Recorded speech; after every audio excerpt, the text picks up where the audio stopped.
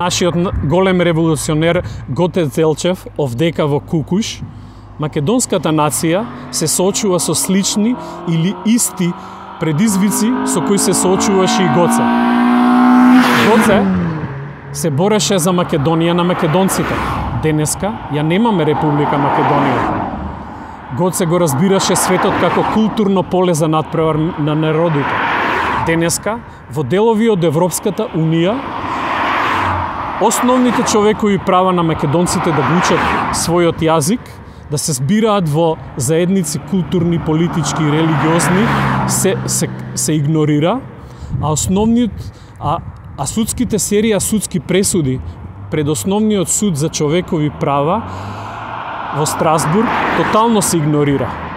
Од друга страна, Европската комисија не го следи правото на Европската Унија и не ги санкционира земјите членки кои ги кршат основните човекови права на македонците.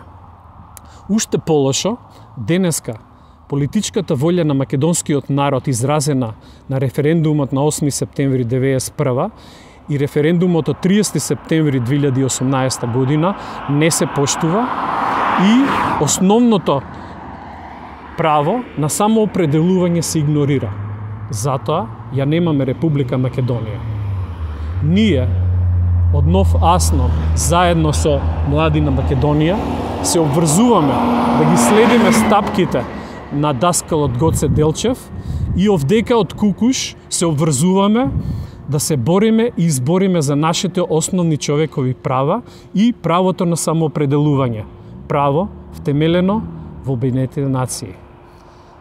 Исто така ги повикуваме сите патриоти и родолюби да ни се придружат до нашата борба се додека не бидеме победници.